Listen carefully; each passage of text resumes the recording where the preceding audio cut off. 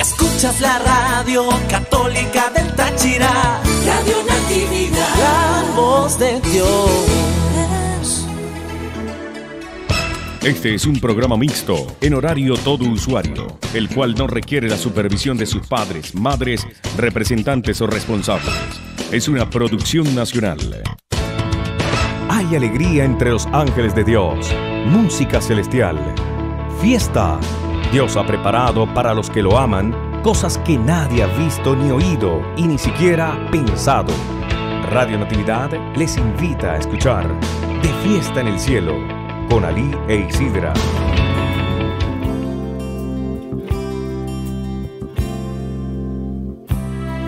Continúa en sintonía de Fiesta en el Cielo.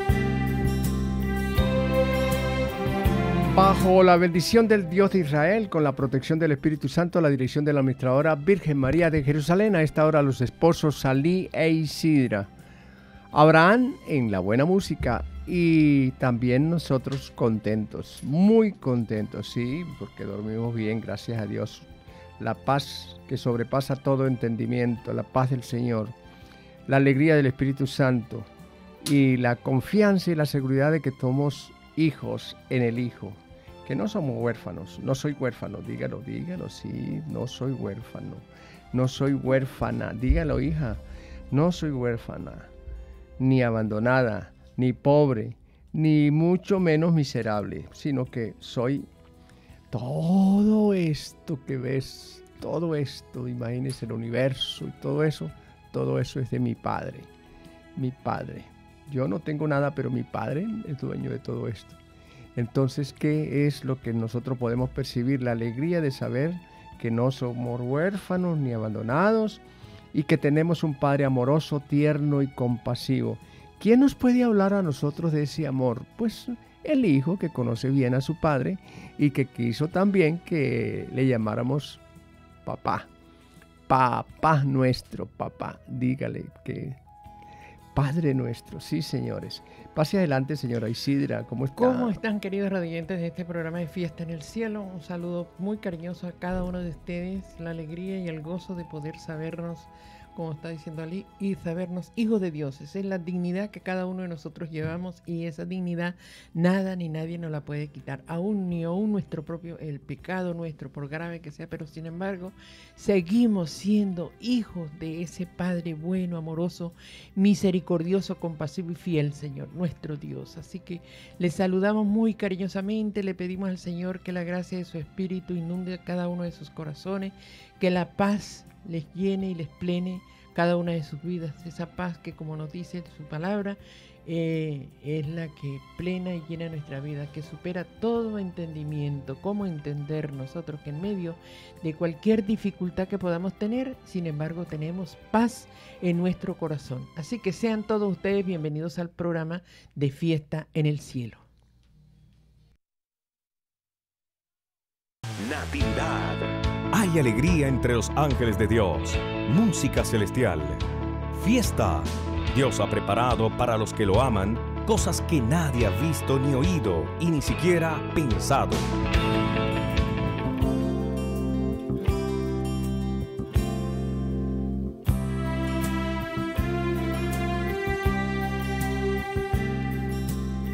Vamos a ver si está en sintonía el señor Ricardo. ¿M? Bueno, necesitamos vivir la experiencia del Señor. Aquí vamos a compartir con ustedes lo que el Señor pone en nuestro corazón, la alegría de la palabra. ¿Cómo hacer para entender, para comprender que nosotros somos, eh, cómo somos nosotros? ¿Quién soy yo? ¿Quién soy yo? ¿Ah? Dígalo, pregúntese. ¿Quién soy yo? Y cuando tenga esa respuesta de la, perdón, la jerarquía que tienes, ¿cuál es la jerarquía suya? Hijo o hija, hija, ah, hija de Dios. Ay, qué tremenda jerarquía. Huérfana, no. Abandonada, no, no, no, no, no. Hija de Dios. ¿Quién, es, ¿Quién eres tú, Ricardo? Hijo de Dios. Uy, Dios mío, Señor, cuando tengas eso, pero eso llega, llega de tanto precisamente mm, atender la palabra de Dios, atender que Dios quiere que arda nuestro corazón, que arda nuestro corazón. Mira esta experiencia tan hermosa. Isidra, ¿la quieres oír? Eh, Abraham, ¿quieres oír esto? ¿Mm? Raquel nos quiere oír, es no, está ocupada. Pero bueno, vamos a ver entonces qué, qué podemos decirle a ustedes, los que están escuchando, los que están atentos a esta experiencia que el Señor quiere. Una palabra del Señor suficiente para ser libres del maligno que nos confunde, nos hace decir cosas tan, tan duras. ¿Y usted por qué comió del, del, del fruto prohibido? Ah, porque la señora que tú me diste, la señora que tú me diste, esa es la culpable. La que tú me diste. ¿Cómo le parece? Bueno, siempre, ah, pero no, vamos a ver, el eclesiástico 48 dice algo que, me, me, Isidra, mira esto. En aquel tiempo surgió Elías un profeta de fuego. ¿Un profeta de qué? De fuego. De fuego. Su palabra quemaba como una llama. Dios mío, Señor. Y si recordamos lo que es el fuego, recuerda que el Señor en el Evangelio dice, he venido a traer fuego a la tierra y cuánto desearía que estuviese ardiendo, pero antes tengo que pasar por un bautismo de sangre. O sea, está hablando, refiriéndose a quién? Al Espíritu Santo. Por eso este profeta, que es Elías, era un hombre lleno del fuego del Espíritu Santo. Fuego por del eso, Espíritu Cuando hablaba, el corazón también ardía, Ardía. como lo hacía el maestro. Eh, ¿Cómo decían los, los, los, que iban caminados a Emaús, regresando ahí todos decepcionados? Yo creía que este era el que nos iba a quitar esa, esa situación con ese, con ese gobierno, con esa mm, situación que vivían los mm, eh, con el imperio romano, etcétera, toda esa situación que vivían y entonces iban hablando más de política que de, del Señor. Y entonces, ¿de qué van hablando ustedes? Se les unió un, un ¿cómo se le llama? Un caminante. Un caminante. Ajá, y entonces, eh, ¿cómo? Y le dieron un tremendo regaño, porque no, ¿cómo? Usted no sabe quién, de qué, qué es lo que ha pasado ya en Jerusalén. Bueno, y entonces le dan una explicación. Y el Señor, con la ternura de Dios, ¿qué les dice? Precisamente una palabra, los lleva a la palabra, los mete en la palabra, los guía con la palabra. Él es el maestro y Él es el que enseña y los hace centrarse nuevamente, ¿no?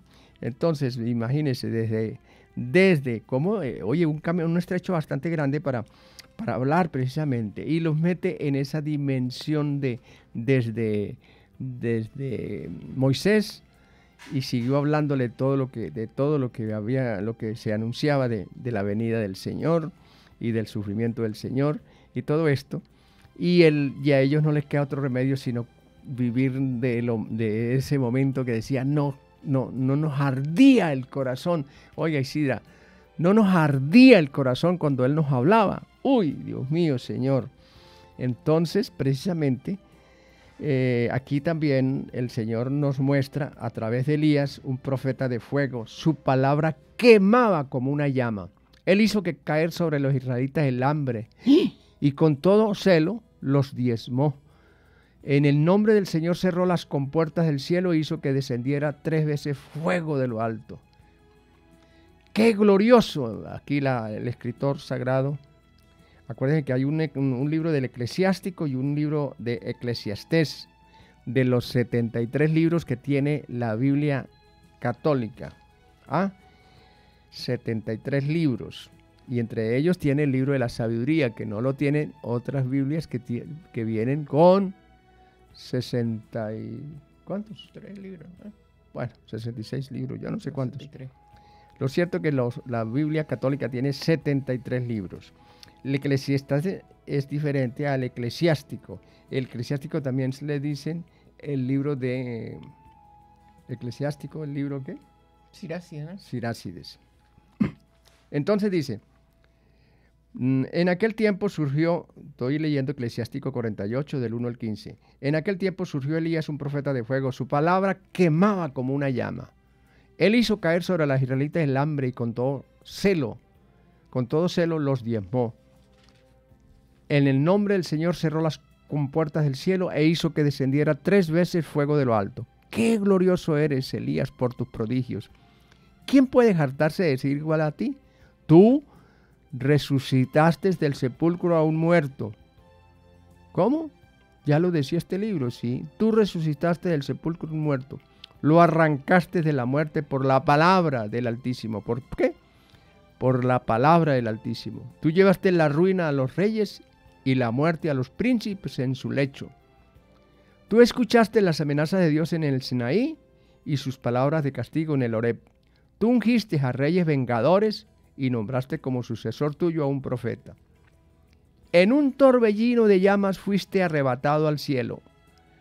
¿Qué qué? En un torbellino de llamas fuiste arrebatado al cielo sobre un carro tirado por caballos de fuego.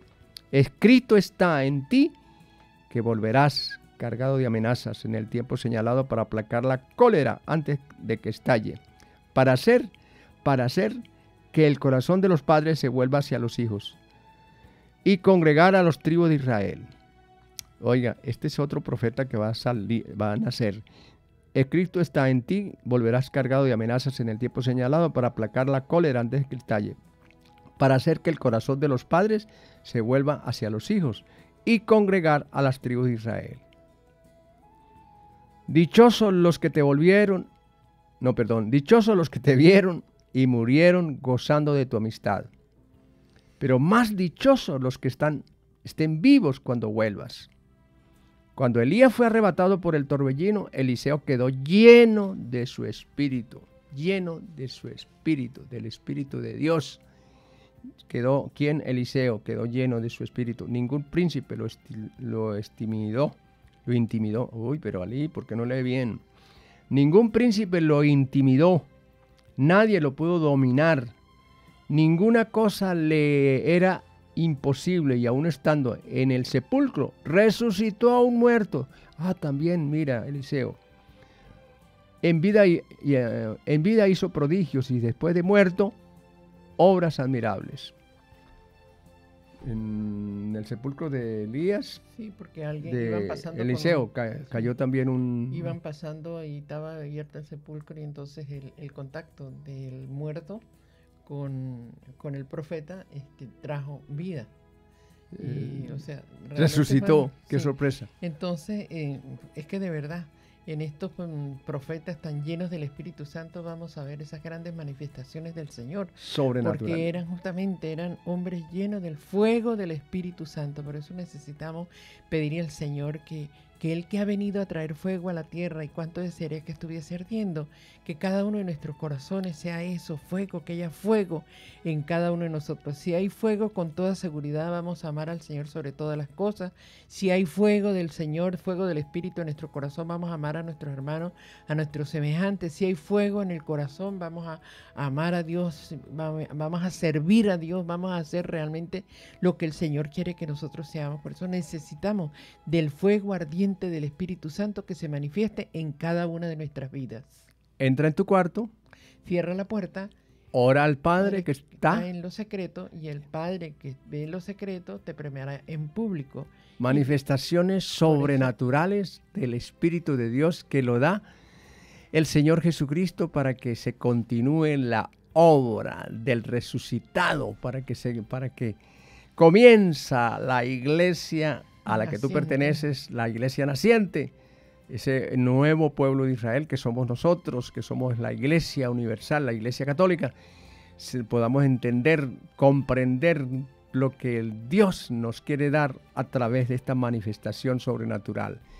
Eh, catequistas con poder de, llevar la, palabra, de, entusiasmar a esos niños, de entusiasmar a esos, a esos chiquitines a esas personas y a esa que está, eh, ¿cómo se llama?, eh, dándole esa doctrina, esa, mm, esa palabra que puede hacer arder los corazones. Y, y, entonces esa catequista será recordada. Yo recuerdo de mi catequista, usted no, yo, no sé usted. ¿Ah? yo recuerdo. A mí llamaba Lucrecia. Se llamaba Lucrecia. No me diga que usted estuvo en la grita. Lucrecia también se llamaba una catequista que yo tenía. no. Ver yo le he oído otro nombre. No. Este, sí, Lucrecia se llama mi catequista. Por eso de verdad es sembrar la semilla, que es la palabra de Dios, buena semilla, pero con el fuego del Espíritu Santo y eso más nunca va a salir de, de uno. Bueno, vamos a... Yo ya le voy a decir cómo, porque yo recuerdo a mi catequista también, se llamaba Manuela, otra, pero Manuela se llamaba la de, las cuadras allá de la grita, cerca, de la, ah. cerca del ancianato. Se, llamaba Manuela. Y... Es muy bueno. No, no, no, señora. Bueno, pasemos adelante. Vamos a ver una pausa musical y volvemos nuevamente.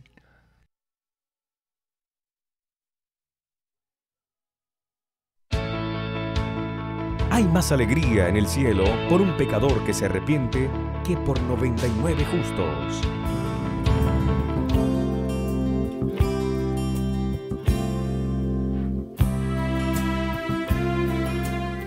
Hay más alegría en el cielo por un pecador que se arrepiente que por 99 justos. ¿Cómo hacemos nosotros para llevar a nuestros seres queridos precisamente a esa manifestación sobrenatural?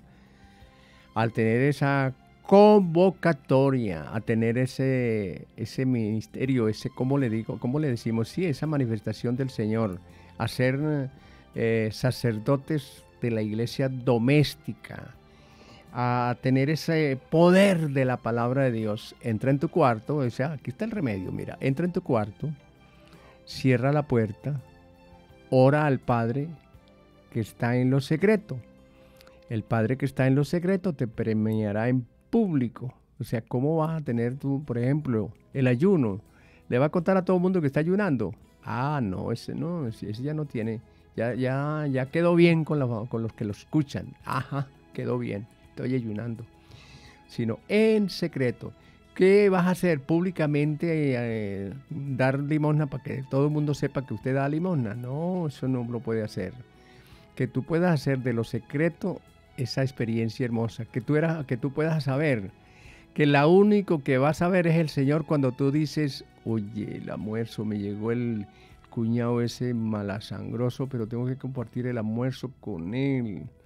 Y entonces parte el almuerzo en secreto y le sonríe al malasangroso de su cuñado y le sirve su almuercito con cariño o su cuñada, o esa persona que cae, que, está entre la familia y cae más mal que quién sabe qué, pero bueno, para adelante.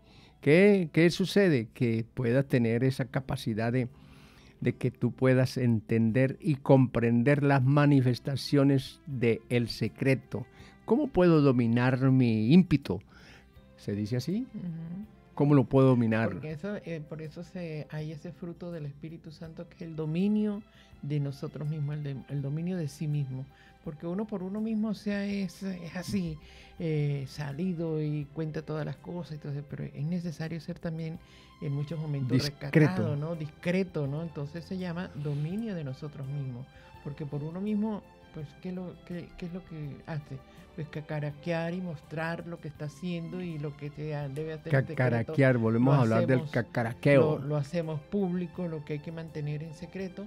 Y, pero, ¿cómo a poderlo hacer? Pues pedirle al Señor. Por eso todo lo que pueda de bueno en cada uno de nosotros nos viene por la gracia de Dios. Siempre, siempre me acuerdo del Señor hablando a través de San Pablo cuando dice, soy lo que soy gracias a la gracia de Dios en mí. Soy lo que soy gracias a la gracia de Dios en mí. Por eso necesitamos pedir al Señor la gracia de su Santo Espíritu para nosotros ser lo que tenemos que ser. Y San Pablo lo entendió muy bien cuando dijo, eh, Romanos 12, que sería muy bueno. Este, eh, este Romanos 12 es una, eh, ¿cómo, cómo, le podemos decir? Romanos 12, que es un calendario, no sería, bueno, una un, para un documento que le ayuda a usted a entender y a comprender que tú no puedes seguir la corriente del mundo que vivimos. Les ruego por la tierna bondad de nuestro Dios que se ofrezcan ustedes como sacrificio. A mí me encanta como dice algunas tradiciones, como hostias santas, como agradables a Dios. Para que puedan saber, para que puedan saber lo que es bueno. Perfecto y agradable a Dios. ¿Oyó? Y eso es hacer la voluntad de Dios, porque nosotros en el Padre Nuestro, que por cierto hoy lo traemos en el Evangelio, que dice, hágase tu voluntad. ¿Y qué es hacer la voluntad de Dios? Hacer lo que es bueno, perfecto, y, agradable a Dios. Lo que es bueno, perfecto y agradable Pero a eso lo vamos a saber cuando nosotros mm, eh, comencemos a leer. Yo les sugiero que lea hoy Romanos 12, lo lea, lo relea, porque ahí tiene una, cómo ser ese cristiano que Dios quiere que usted sea, esa persona, ese hombre nuevo, esa mujer nueva. Hombre, cuando se dice hombre es mm, varón y hembra, porque así fue como hagamos al hombre varón y hembra. Hagamos al hombre a nuestra imagen y semejanza, varón y hembra. Y, y después, ¿cómo le dice? Mm, esa, esa experiencia hermosísima de poder entrar en el cuarto, cerrar la puerta y orar al Padre que está en lo secreto. Y el Padre que está en lo secreto te premiará. ¿Cómo le va a orar cuando tú es capaz de entender por qué dice Padre nuestro? Porque cuando tú entras al cuarto y cierras la puerta, entra eh, proclamando el nombre que está sobre todo nombre. Y ante el nombre de Jesucristo, toda rodilla se dobla. En el cielo los ángeles, en la tierra los hombres. Y entonces usted es uno, usted es una de las que están llamadas para que ponga las rodillas en el suelo y clame y entre en esa dimensión. ¿Nos cuesta mucho? Claro, no que la mente... ¿Para dónde coge la mente? ¿Para dónde coge la mente, Isidra? Explíquenos eso. Bueno, que siempre nos lleva justamente a, a todo menos hacer lo que es bueno y agradable a Dios, ¿no? Porque justamente por eso es una lucha constante y permanente, ¿no? Con nuestra mente. Porque queremos hacer silencio y no podemos porque hay más bulla que si Dios quiere. Queremos hacer algo, vamos a orar y sin embargo se nos atraviesa el pensamiento que tenemos que ir a hacer el oficio que hemos dejado de hacer, que tenemos que hacer la llamada que no hicimos antes, o sea, tantas cosas que nos puede llevar y por eso no nos centramos en lo que tenemos que cada uno de nosotros Y nos hacer. levantamos tan fácilmente de, de- de- de ese momento. Por eso, mm, a ver, con tu voz, mi amor, dígalo. ¿Cuál es el trono de Dios? Que a mí me encanta oírte a ti eso. Bueno, el trono, o sea, el silencio es trono para Dios, hacer silencio. ¿Y cuánto nos cuesta? Porque hay mucha bulla en nuestra mente, hay mucha bulla. Entonces, Sí. ¿cómo poder hacer, ir sil- silenciando nuestra mente? Eso es como, hay que ejercitarlo y pedírselo al Señor. Recordemos que todo lo bueno que pueda haber en nosotros nos viene a nosotros por la gracia divina, la gracia de Dios en cada uno de nosotros. Y el hilo conductor de, este, de, este, de estos textos de hoy dice que se alegren los justos con el Señor. Reina el Señor, alégrese la tierra, canten de regocijo el mundo entero. El trono del Señor se asienta en la justicia y el derecho. Un fuego que devora a sus contrarios, a nuestro Dios, procede del, deslumbra su relámpago, el orbe, y, y viéndolos, la tierra se estremece. Los montes se derriten como cera ante el Señor de toda la tierra. Los cielos pregonan su justicia. Su inmensa gloria ven todos los pueblos. Su inmensa gloria. Y si no, sintonice precisamente esas experiencias del espacio, lo que están, cada día se descubre más grande el espacio de lo que la mente, alguna mente humana podría imaginar, de la grandeza de lo que Dios ha creado. Y todo eso es de mi Padre que está en los cielos. Todo eso es de mi Padre que está en los cielos. Y entonces cuando yo comienzo a entender y a comprender con quién estoy tratando, con el Padre de nuestro Señor Jesucristo, que Jesucristo me enseñó desde niño en la catequesis eh, a decir, Padre nuestro que estás en el cielo, santificado sea tu nombre. Venga a nosotros tu reino. Dígame si el reino de Dios llega a tu corazón. Reino de Dios, ¿qué es el reino de Dios? Justicia, alegría y paz y gozo en el Espíritu. Justicia. Aleluya, Dios Y me mío. encanta saber lo que es justicia a, a nivel, digamos así, bíblico, que no es lo que nosotros sabemos darle a cada uno lo que le pertenece. Va más allá. Justicia es a ser amigo de Dios. Ser una persona justa es aquella que sabe escuchar a Dios y que le obedece. Sabe escuchar a Dios y que le obedece. ¿Y que le qué? Y que le obedece. Le obedece. a Dios y le Uy, sabe Dios obedecer. mío, Señor Por Jesús. eso, por ejemplo, ahorita que estuvimos mi- eh, viviendo pues el año de San José, recordemos que de los- uno de los de los con virtudes de San José era que era un hombre justo. Un hombre justo, ¿por qué? Porque él sabía escuchar la voz de Dios y hacerle caso a Dios. Y lo vemos justamente en, en el libro de Lucas cuando le tocó cuántas... Tomar decisiones como y apresuradas. y también con equipo, porque él le hizo a la Virgen? Como tú digas, mi amor, vámonos pues. Si tú dices que nos tenemos que ir, nos vamos. ¿Por qué? Porque tenían que salir deprisa, porque iban a matar al niño, porque estaban... ¿Qué fue la, la catástrofe? La situación más eh, tan dura como la que está sucediendo en estos momentos, matando matando los niños, matando los niños. ¿Qué qué? Sí, matando los niños, dándole muerte a los niños. Qué terrible eso. Eso se hace justamente en este tiempo, también cuando los, los, los abuelos eh, pagan precisamente para que se le haga un aborto a una niña linda que salió en estado, Dios mío. Ajá, y entonces eh, esa, esa situación de la muerte está en cada uno de los que están en una onda de, de la, de la cultura de la muerte, dice el Papa Juan Pablo II. San Juan Pablo II. Por eso de verdad que la oración del Padre Nuestro, que debe ser nuestra oración, yo pienso que de verdad nosotros no deberíamos de salir de nuestras casas sin antes haber orado con la oración del Padre Nuestro, una forma bien, bien sencilla, pero bien, eh, bien, bien con fe y confianza en el Señor, podernos dirigir a Dios como nuestro Padre, porque Él es el Padre de cada uno de nosotros. Y si nosotros contamos con el amor y la gracia de ese Padre, con toda seguridad vamos a experimentar la ternura y el amor de ese Padre que cuida de cada uno de nosotros. Los que adoran estatuas, dice el Salmo 97 Sí, señor, 97, 96 entre paréntesis. Los que adoran estatuas que se llenen de pena y se sonrojen, lo mismo el que se jacta de sus ídolos, que caigan ante Dios todos los dioses. Por eso precisamente no entiende, no se entiende, no se comprende que estamos muy avanzados en la cultura de la muerte. ¿Cómo hacemos con la, con la cultura de la muerte? Pues a los niños le damos muerte y a los viejos también porque por eso hoy funciona en muchos países la ley de la eutanasia, ¿no? O sea, para evitar ese, pero lo que significa justamente estar pendiente y cuidar de un anciano, entonces, bueno, el remedio, la eutanasia. No, no, recordemos siempre que la vida hay que respetarla. La vida viene de Dios y Dios la da y Dios la quita cuando Él quiere. Nosotros no tenemos derecho sobre la vida. Bueno, vamos a una pausa, pausa y ya regresamos.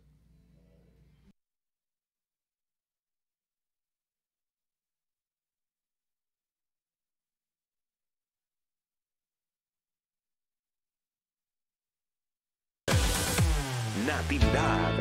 Hay alegría entre los ángeles de Dios, música celestial, fiesta. Dios ha preparado para los que lo aman cosas que nadie ha visto ni oído y ni siquiera pensado. Una señal llena de bendiciones. 1017 Natividad. Natividad. No, hombre, nos estamos gozando con esta experiencia que el Señor nos regala, la alegría de ser equipo. Mira esto, escuchen esto, escuchen, por favor.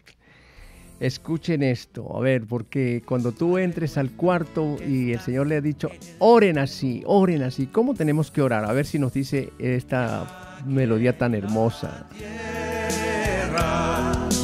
santificado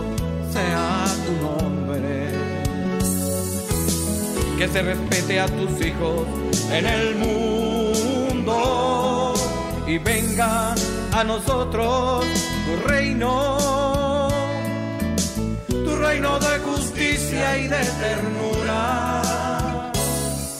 Y hágase tu voluntad, y así esta tierra será como tu cielo. Danos hoy el pan de cada día bueno, entonces, ¿cómo le parece a ustedes que este canto hermoso nos lleva a nosotros a entrar en esa dimensión de lo que Dios quiere? ¿Qué quiere el Señor, el maestro de toda oración, el maestro? ¿Quién nos puede enseñar? ¿Cómo enseñó Jesús a sus apóstoles? Orando. No le dijo, tienen que orar, no nos agarró, como dijo, dice Isira, no nos agarró de las mechas, del moño, no, sino que eh, vieron que él oraba, todo el tiempo y se apartaba a orar. Cuando ustedes hagan oración, a ver si tiene autoridad el Señor para decir esto, Mateo 6 del 7 al 15. Cuando ustedes hagan oración, no hablen mucho. Cuando ustedes hagan oración, no hablen mucho.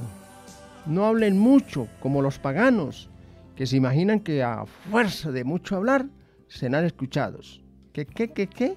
A ver, Señor, repítamelo. Cuando ustedes hagan oración, no hablen mucho cuando los paganos, como los paganos, que se imaginan que a fuerza de mucho hablar serán escuchados.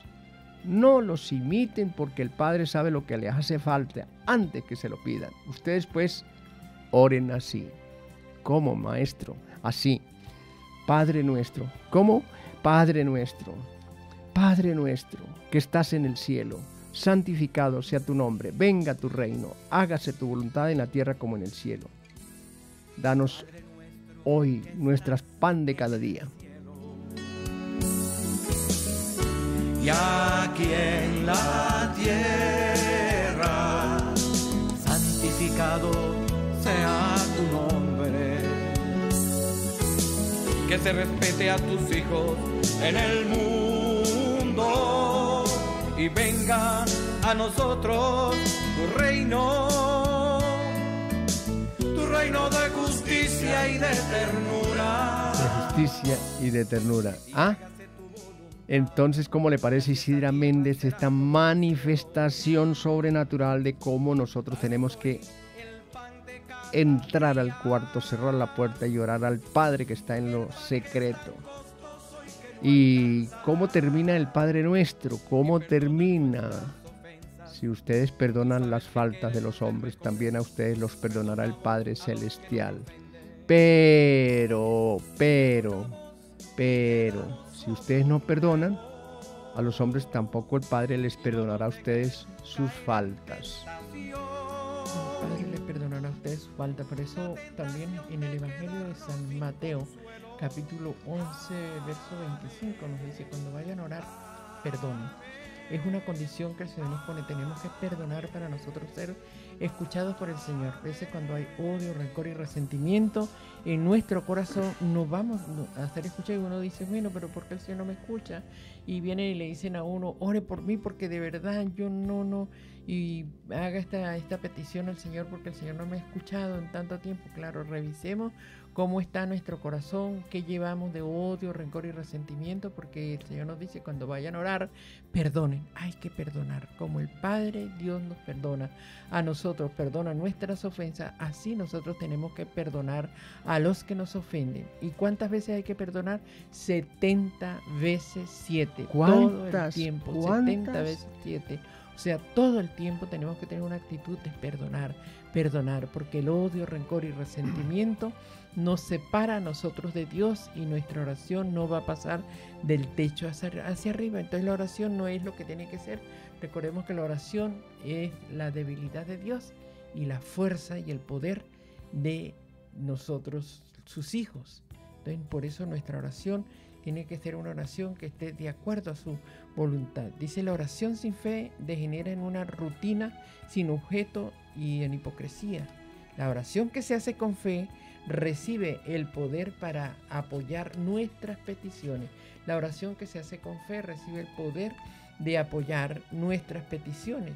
Y no hay nada que esté fuera del alcance de la oración, excepto aquello que no está conforme a la voluntad de Dios. Por eso hay que orar de acuerdo a la voluntad de Dios y estar siempre en esta actitud de perdonar, perdonen, perdonen. No, no esté siendo escuchada su oración, querido radiyente. Revise cómo está su corazón con respecto a esa persona que en algún momento le hizo daño, que en algún momento le ocasionó un disgusto muy grande. Revise porque el que si nosotros no perdonamos, no vamos a ser escuchados. Por eso, cuando vayan a orar, perdonen, nos dice el Señor en su palabra. De autor desconocido dice así, a orar se aprende orando. ¿Qué qué? A orar se aprende orando. No se puede enseñar nada sobre la, sobre la oración a quien no ora. ¿Qué qué? No se puede enseñar nada sobre la oración a quien no ora. Y al que ora no puede enseñar mucho. porque todo lo aprende por sí mismo en, en la experiencia personal. Entra en tu cuarto, cierra la puerta, ora al Padre que está en lo secreto y el Padre que está en lo secreto te premiará en público. ¿Cómo te va a premiar en público? Cuando tú tienes unos ojos brillantes, cuando tú tienes un rostro resplandeciente, cuando tú tienes un tono de voz para corregir en un momento dado con una, con una ternura paternal, cuando tú tienes esa, esa, ese tono de voz que es muy agradable y uno quiere escucharlo no nos cansamos de escuchar a una persona que está en comunión con el Padre. Así que aprende a trabajar contigo mismo, pasa tiempo con el Señor, contemplándolo y no solo pidiendo, porque eh, eso es lo que sabemos, pedir, pedir, pedir, pero no sabemos contemplar, no sabemos pasar tiempo con el Señor y no sabemos y no entendemos y no comprendemos porque hay mucha bulla en nosotros. A ver, Isidra, dígame ese que me encanta oírtelo a ti que dónde es el trono de Dios, a ver cómo. El silencio en nuestro corazón es trono para Dios. Trono, es el trono de Dios, el silencio. Cuesta tanto, pero que que eh, trabajarlo, hacerlo, eh, ponernos con la ayuda del Señor, lo vamos a ir logrando. Eso es como, hay que ejercitar, ejercitar, hacer silencio porque ya les decíamos que en nuestra mente hay muchos, muchos razonamientos, muchos pensamientos, muchas cosas que nos vienen y que tenemos que pedir al Señor que nos dé la gracia de, ponernos en, ese contacto y comunión con Él y para eso tenemos que dejar a un lado toda esa bulla que hay en nuestra mente. Mucha bulla, mucha bulla y esa bulla nos impide a nosotros entrar en esa dimensión del trono de Dios. El trono de Dios es el silencio. ¿Silencio qué? ¿De qué? De la mente y de las palabras, un palabrerío. Aquí lo dice muy claro y lo leemos nuevamente. Hoy es el, el texto de la oración que el Señor quiere enseñarnos. Que nos enseñó desde niños, sí, pero que nosotros ahora que le vamos a tener más, ¿cómo se dice eso? Y más que bueno, más capacidad de, asimilar lo que estamos diciendo en este momento, que nos ayuda muchísimo a entrar en nuestro, a entrar, entra al cuarto, cierra la puerta, ora al Padre que está, ¿dónde? En lo secreto. En lo secreto. Y entonces, mucha palabrería no, no es lo que el Señor está buscando. Lo que está buscando precisamente es que tú tengas comunión con el Señor. Y esa comunión es de, mm, del amor ¿Qué es el amor? Cuando tú te dejas eh, acariciar del Padre, cuando tú te dejas besar del Padre, cuando tú puedes entrar en esa dimensión del perdón para que usted perdone a la figura paternal que de alguna manera no la tuvo o si la tuvo fue muy violenta esa persona muy con una violencia que hacía quería hacerle entender cosas que que tu capacidad de niño no la podía entender, pero que quedó marcado una violencia, o que vio imágenes como esta tan dura, ver, golpear a la mamá. Y entonces el niño creció con el odio hacia su mamá. Cuando vio a su mamá muchas veces llorar. No hacia su mamá, no, sino hacia su papá. Por, por, la violencia del papá. por eso, pero no lo dijo así. Se lo dijo lo dije diferente. Bueno, la violencia, el, papá muy exigente y muy perdía la conducta y entraba borracho seguramente y entonces golpeaba y se metía con los coroticos del pesebre, se metía nada menos que con la mamá de sus hijos, no, no estaba golpeando a su esposa, estaba golpeando a la mamá de sus hijos y sus hijos crecieron con una con un resentimiento que no se borra y que tenemos que desactivar del alma esa situación cuando nosotros decimos perdona perdona como, yo como yo perdono en este momento a mi papá como lo perdono y lo perdono porque es mi papá y lo perdono porque tú lo usaste como co-creador con mi mamá para que diseñar esta maravilla que soy yo. Yo soy una maravilla porque tú diseñaste una maravilla y tengo que cambiar el concepto y, el, la, la, imagen que el enemigo me ha hecho entender y que yo quiero mm, borrar esa imagen para plasmar la verdadera imagen que Dios quiere que tengamos. Padre nuestro que estás en el cielo, santificado sea tu nombre, venga a nosotros tu reino. Y si el reino de Dios se, se, establece, establece, en nosotros habrá justicia, gozo, paz y alegría en el Espíritu, porque ese es el reino de Dios. Y por eso tenemos que pedir al Señor que nos dé la capacidad de nosotros poder perdonar, porque el principio de toda sanación está en el perdón. El principio de toda sanación está en el perdón. Queremos ser sanados de esas heridas que hay en lo, más profundo de nuestro corazón. Eh, tenemos que perdonar, perdonar las ofensas.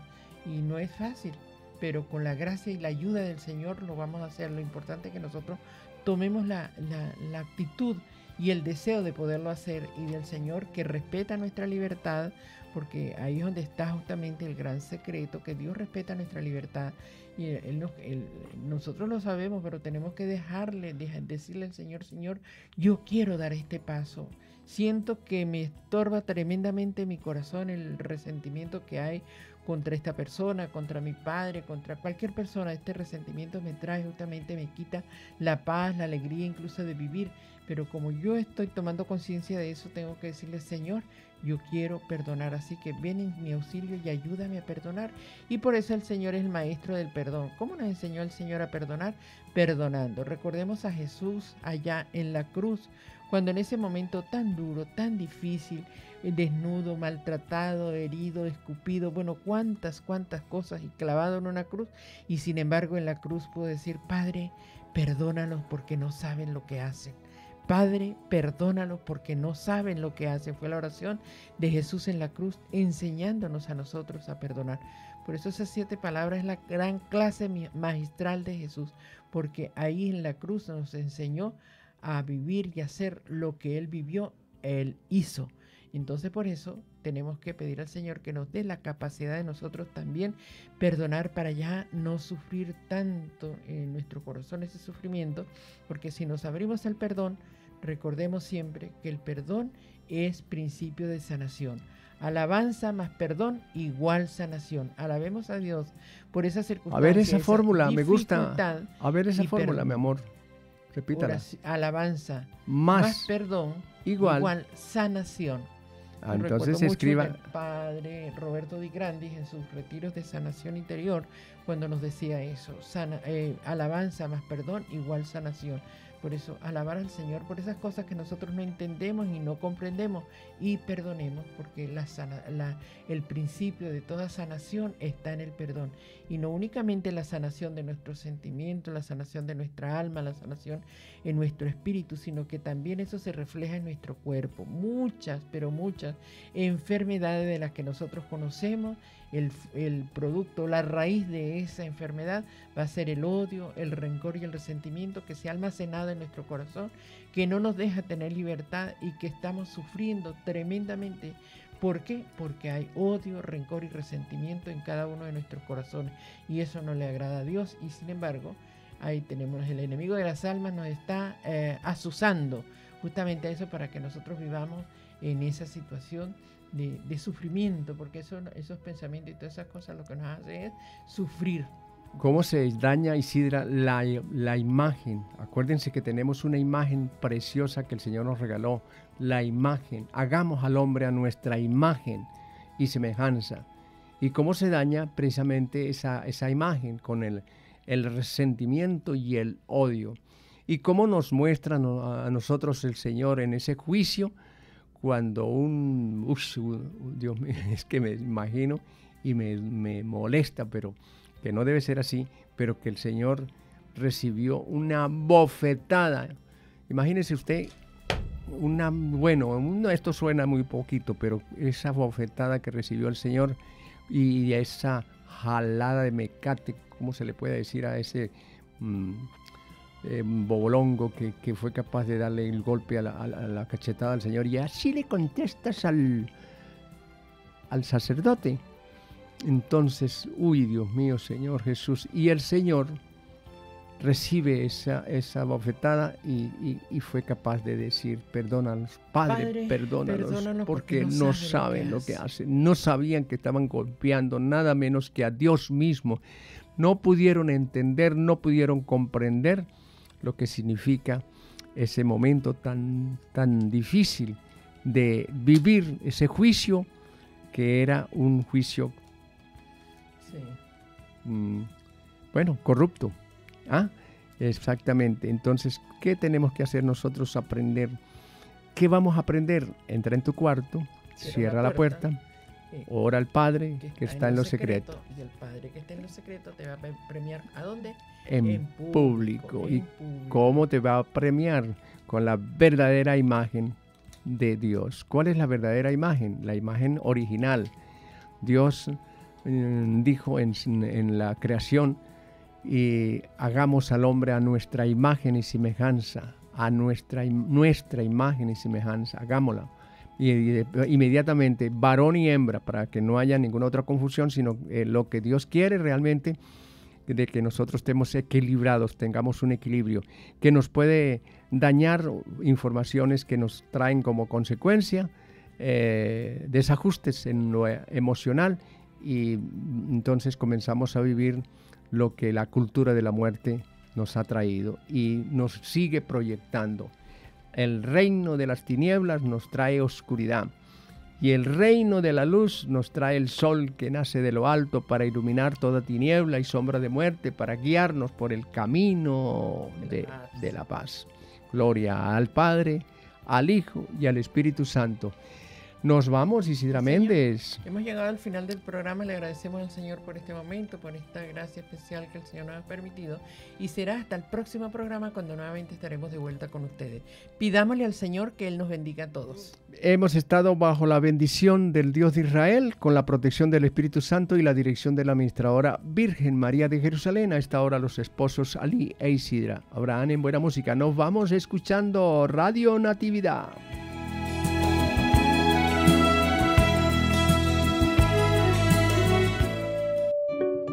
Ahora llega este hijo tuyo que ha malgastado tu dinero con prostitutas y matas para él el becerro más gordo.